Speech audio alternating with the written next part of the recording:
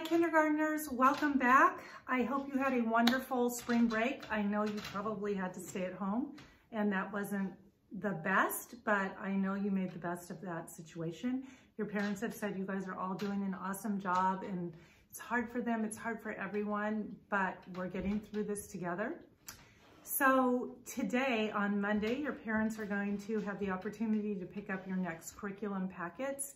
Um, excuse me, we will be finishing our unit on the weather this week and next week we will start a three week unit on plants. So that should be a lot of fun. We will also have more crafts and activities to do and we will be starting a unit on Greece. So um, look for some videos coming. So um, I'm also putting a YouTube, uh, not a YouTube, a Flipgrid together with the Bible verse. That will probably be out tomorrow. But do know that you need to post your Flipgrid videos, okay? So I hope you have a good day and I will be touching base with you tomorrow. Talk to you later.